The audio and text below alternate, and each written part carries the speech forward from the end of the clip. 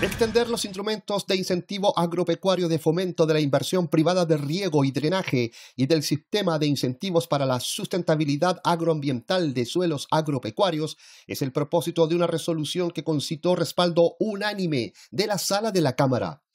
El documento dirigido al presidente de la República apunta a la región de Aysén, debido a las complejidades que presentan actividades como la ganadería, la agricultura y la actividad silvícola ello frente a problemas de conectividad, provisión de servicios o de infraestructura. La iniciativa recuerda que la actividad agropecuaria representa en Aysén no solo un sector productivo más, sino que un conjunto de valores adicionales que permiten entender su importancia y la necesidad de fomentarla. A nivel geopolítico, por ejemplo, permitió ocupar y utilizar la tercera extensión territorial regional más grande del país.